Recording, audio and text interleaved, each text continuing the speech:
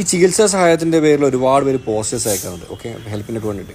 ഇപ്പോൾ അടുത്ത കാലത്ത് അവർ ഭയങ്കരമായിട്ട് കൂടിയിട്ടുണ്ട്. പണ്ടൊക്കെ എന്റെ കുട്ടിക്കാലത്ത് വണ്ടി നിന്നൊക്കെ വീണ് കഴിഞ്ഞാൽ കാലോ മുട്ടോ ഉറുപ്പിക ഉണ്ടെങ്കിൽ നമുക്ക് ഹോസ്പിറ്റലിൽ പോയി സംഭവം തരും. ഇപ്പോൾ ഒരു ബൈക്ക് അടിച്ച് കിടന്നവന് വേണ്ടിയിട്ട് പത്തും പതിനൊന്ന് ലക്ഷം രൂപ പിരിവാണ്. ആ അതാണ് അതിന്റെ സത്യം. എന്ത് അസുഖം കൊണ്ട് മിനിമം അൻപത് ലക്ഷം ഒരു കോടി ഒന്നര കോടി ഇങ്ങനെയൊക്കെയാണ് എക്സ്പെൻസ് വരുന്നത്. അപ്പം ഞാനൊരു കാര്യം ചെയ്യട്ടെ നിങ്ങൾ എന്തുകൊണ്ട് മെഡിക്കൽ ഇൻഷുറൻസ് എടുക്കുന്നില്ല? ഒരുപാട് കമ്പനികൾ മെഡിക്കൽ ഇൻഷുറൻസ് പ്രൊവൈഡ് ചെയ്യുന്നുണ്ട്. അത് നമുക്ക് ഇപ്പം ഞാൻ എന്റെ വൈഫിന് മക്കൾക്ക് എല്ലാവർക്കും മെഡിക്കൽ ഇൻഷുറൻസ് ഉണ്ട്. പ്ലസ് എന്റെ രണ്ട് മക്കൾക്കും എനിക്കും ആക്സിഡന്റ് ഇൻഷുറൻസ് ഉണ്ട്. മക്കൾ വണ്ടി ഓടിക്കുന്നതുകൊണ്ട് ആക്സിഡന്റ് ഇൻഷുറൻസ് ഉണ്ട്.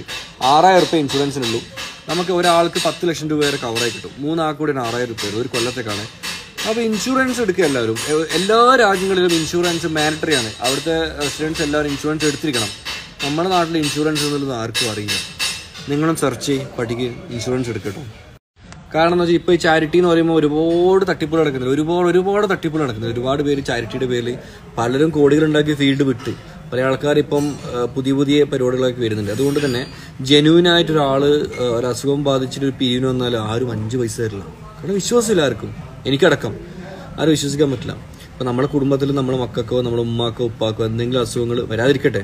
വന്നു കഴിഞ്ഞാൽ മറ്റൊരാളുടെ കയ്യോ കാലോ പിടിക്കേണ്ട ഗതി ഉണ്ടാവാതിരിക്കണമെങ്കിൽ തീർച്ചയായിട്ടും നിങ്ങളുടെ ഉപ്പാന്റെ പേരിലും ഉമ്മാന്റെ പേരിലും നിങ്ങളുടെ പേരിലും നിങ്ങളുടെ കുട്ടികളുടെ പേരിലൊക്കെ ഇൻഷുറൻസ് എടുക്കും. നമ്മൾ എത്രയോ പൈസ നമ്മൾ തിന്നിട്ടും കറങ്ങിയിട്ടൊക്കെ ചിലവാക്കുന്നല്ലേ? ഒരുപാട് പൈസ നമ്മൾ വേസ്റ്റ് ചെയ്യുന്നില്ലേ?